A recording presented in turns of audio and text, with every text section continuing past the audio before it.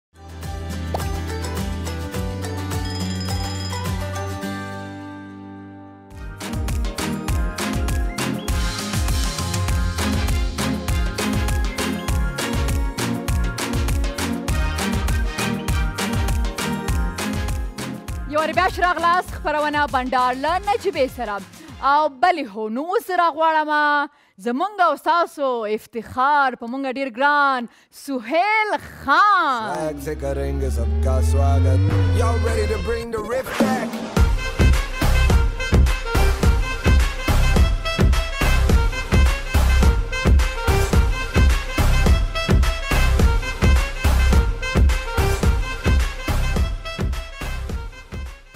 پس له پنځو کالو راغلي خپل وطن ته ډیر ښه راغلاست. ژوندی اوسې مننه ډیره زیاته. خوشحاله یم سهیل جانه چې خپل هیواد کې درسره ګورم او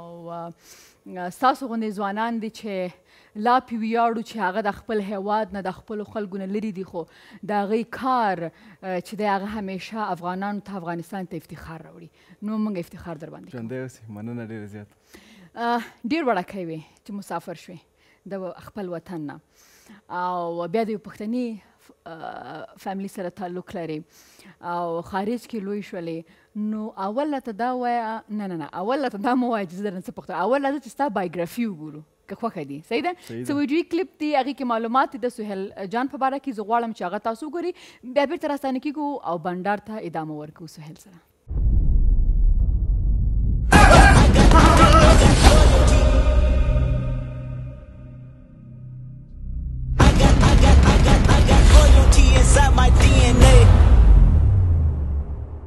سهیل په ماشومتوب کې خپل کورنۍ څخه پرته انګلستان هیواد ته راغی لا ماغه وخت له ډېرو ستونزو سره لاس او ګریوانو هیڅ شي ته لاسرسي نه درلود نو ځکه خپل استعداد څخه په ګټه اخیستو سره وتوانید چې خپل د ژوند چارې له یوې ښې لارې مخې ته یوسي هغه دا توان په ځان کې ولید تر څو د تکواندو په ډګر کې وځلیږي خلاصو مو دی ورسته یې سګوهنې ته مخه کړه د هغه په آن سګوهنه داسې ورشته ده چې په هغه کې ستاسو ورسته حرکاتو ته هم نمرې ورکول کیږي سهیل هیڅ کله دا نه هیروي چې لکم ځای راغلی او د هغه ریخه چیرته ده او له ځانګړې مهرباني او نرم خصلت خاوند دی چې دا ځانګړتیا د هغه لسیری څخه ښکارندوی ده چې په میدانونو کې د یو ځلاندې ستوري په شان ځلیږي هغه وایي زما لپاره مینوال په څوک وهنه کې ډیر ارزښت لري هغوی په ما باندې هغه پیسې مصرفوي کوم چې په سختي ګټلي او لمانه په هر ځای کې ملاتړ کوي او زیاتوي چې څوک وهنه داسې یو ورزشي برخه ده چې زه اړ وستم چې د سیالیو لګټلو سربېره خلکو ته د سرګرمي زمينه هم برابر کړم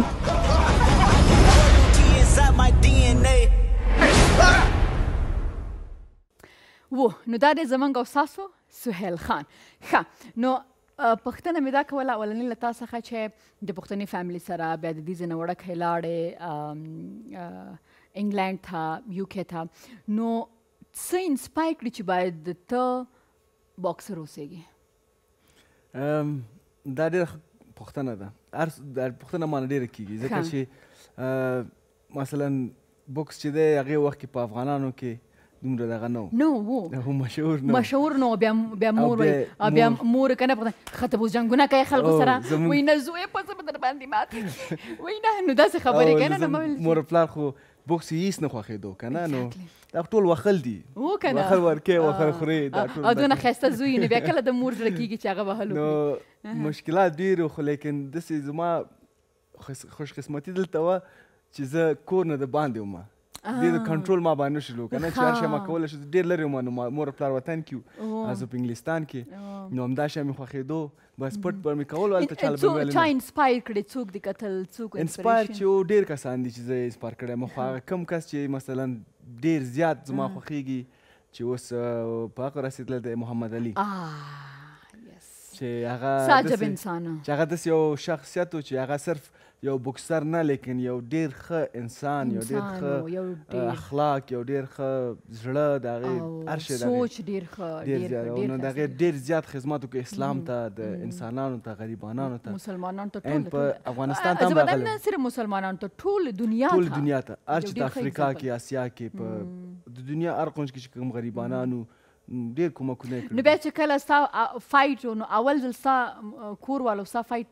چې ولید د هغې ریاکشن راته وایي ټلیفون یې درته وکړو نه اول څو فایټونه چې ما وکړل ما چاله ویلي نه وو چې دا زما فایټونه نه چې ښه بیا هغې وخت کې امچور باکسر وم نو فایټونه مې چې ښه یو څو دانې وکړل نو بیا چې وطن ته رالم ډېره موده بعد اول دفعه چې وطن ته رالم نو ما بل څو کاله بعد راغلی وطن اول دفعه چې رالم اووه کاله مې و کال بعد وتلی استاد مسافر نو ماشوم تل ما نه رسید چې لګ لګ می ګیره راغلی و چې راغلی وطن ښه ښه نو بوکس به می کول نو مور مور به راته چې زوی دا دې چی نه خراوله دی چې د خوګیږي او هر سره زم د سره نه مچ د تکور کمان در کوم وای وو وو چې کنه لا تکور دی کوم مور پلار دا جرمني کې دی کنه او وس په جرمني کې کومه ګوري نو د سهیل جان مور پلار ته زما د خوانه ډېر ډېر سلامونه او افرین چې داسې زوی لرئ چې هغه نه یوازې ستاسو د افتخار د افتخار راوړي زمونږ هیواد ته هم راوړي سویل جان ستا یو عکس را سره هغه ګورو تاسو هم ګوري بیا راځو دغه باره کې تانه پښتنه کوم چې دا آرټیکل چې کوم لیکلای شوی دا چا لیکلای او کله لیکلای او څه کیسه وا اولمپیک سلاړی راځي چې دا عکس ګورو بیا پښتنه زه پښتنه کوم دا دوه زره دولس کې په یاد دي چې چې څه کیسه وه څه خبرې وې زه چې وم ما د دې نه مخکې ما اوس پورې چاله ویل نه دي خو د دې نه مخکې ما تایکواندو کوله د بوکس نه مخکې نو تایکواندو کې ما تاسو لیدلی شئ زما تور کمربند نو ما د هغې ملک دپاره تایکواندو کوله د انګلستان دپاره نو هغه کی به زه چه وم خپل هغه ملک کی زه چمپیون شوم په اول ټول ملک زه اول نمبر ما واغستو ماشاءالله نو هغه ملي لوبه چه ما وګټله ډیر ښه نو به هغه نه بعد چه ده به زه دغه ته کوالیفای شوم یورپین دا د اوپن چمپیونشپ ته هغه ته لاړم هغه کی مم برونز میډل وګټو ماشاءالله نو به زه دسې د درې درې کسانو چې هغه ملک په زما وزن کې چې درې درېو نه باید یو دوه کسان المپیک ته لاړ شي چې یو کس پکې زه وم نو 2012 المپیک چې په لندن او 2012 وو دا آرټیکل ما وکړه یقینا نو دا کس چې دا غيو اګزیکټلی او زم چې ډیر وړکای وي سوالس کلن وي چې تاسو د آرټیکل کې مونږ کته چتاوي چې ما کله شروع کړي وای نه اول جنګره نه دی سهیل څونه چې زه پیژنم کنه او د سهیل دا درته وایم چې ما چې ما ته کله ویلو چې بوکسر میلمه دی نو ما وی دا به څومره یو بورینګ او نښته انسان یو دا به څنګه او د سره به د څنګه خبرې کوم د دغه به سمه پښتو هم نه وي زه خو نه مخ د پښتو څنګه له یاده نه ده وتلې لندن کې افغانان یو پښتانه یو مسلمانان یو د ټولو نه مخکې نو دا زمونږ کلتور زمونږ د افغاني د ډیرو خلکو هیر شي کنه او د وبو بوتل د ځان سره نه راوړی نه ولاکه وای مګم او د نه لوب نه چې مونږه مریض دا مونږه لاړو لغمان ته لاړو یو څو ورځې مخکې